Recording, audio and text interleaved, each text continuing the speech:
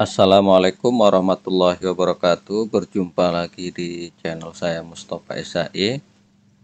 Izinkan saya untuk berbagi terkait dengan uh, perpanjangan sertifikat bendahara melalui aplikasi Simas Paten.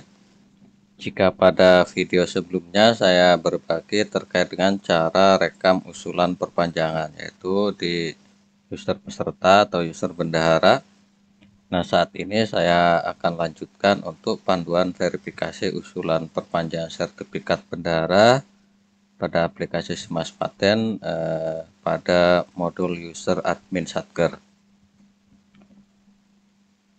Jika pada video sebelumnya saya sudah ada tutorial terkait perekaman, di sini sudah um, status usulannya dikirim ke admin Satker. Nah, saat ini silakan eh, bagi admin Satker untuk memverifikasi usulan dari bendahara yang mengajukan perpanjangan.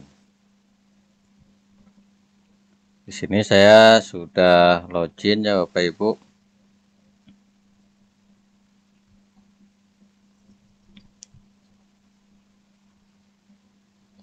Untuk verifikasinya setelah Bapak Ibu berhasil login, silakan pilih di sini ada perpanjangan, kemudian verifikasi perpanjangan.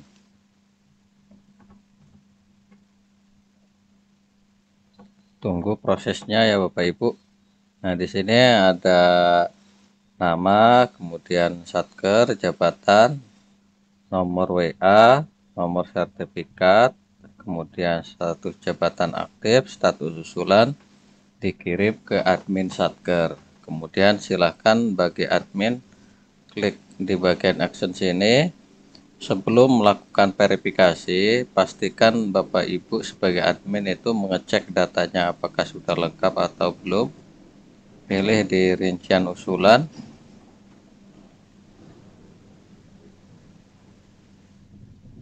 Ini data utamanya ya Bapak Ibu.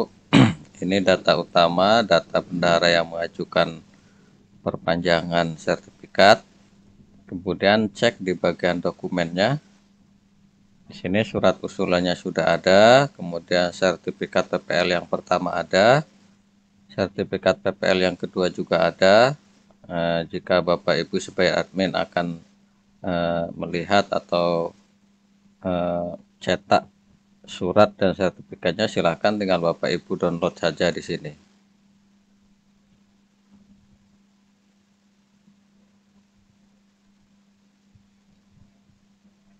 ini contoh suratnya.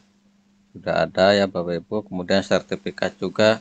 Kalau Bapak Ibu supaya admin akan download untuk mengecek kebenaran sertifikatnya silahkan Bapak Ibu download saja. Nah, setelah Bapak Ibu memastikan bahwa dokumennya itu lengkap silahkan uh, klik keluar saja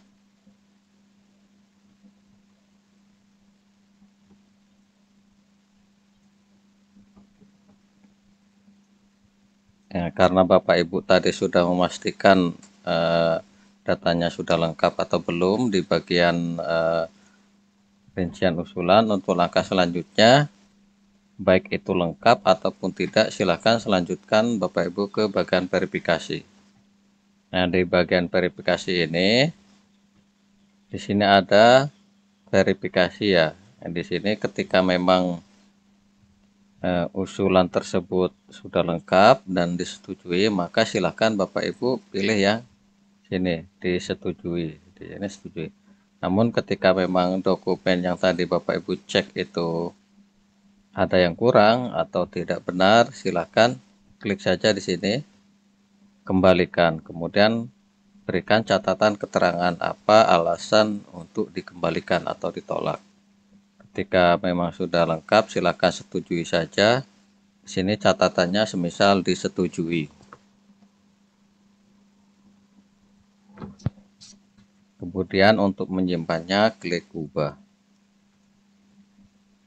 Nah, data berhasil disimpan ya. Jadi untuk status usulan di sini sudah berubah menjadi disetujui admin Satker. Untuk langkah selanjutnya, silakan Bapak Ibu klik action lagi di sini kemudian uh, pilih di sini ada menu kirim ya Bapak Ibu pilihan kirim. Anda yakin akan mengirim data ini? Klik saja OK jadi ini setelah Bapak Ibu sebagai admin mengirim data maka status usulan menjadi dikirim ke admin DSP jadi ini sudah eh, dikirim oleh admin dengan status dikirim ke admin DSP ini menunjukkan bahwa admin Simas Paten Satker sudah selesai untuk verifikasinya. Untuk langkah selanjutnya, silahkan tinggal menunggu hasil verifikasi dari Direktorat Sistem Perbendaharaan atau yang disebut dengan DSP. Demikian yang bisa saya bagikan terkait dengan eh, panduan atau langkah verifikasi usulan perpanjangan sertifikat bendahara eh, oleh admin Satker pada aplikasi Simas Paten. Dari awal sampai akhir, jika terdapat kekurangan saya mohon maaf. Allahul muwafiq ila aqwamit Wassalamualaikum warahmatullahi wabarakatuh.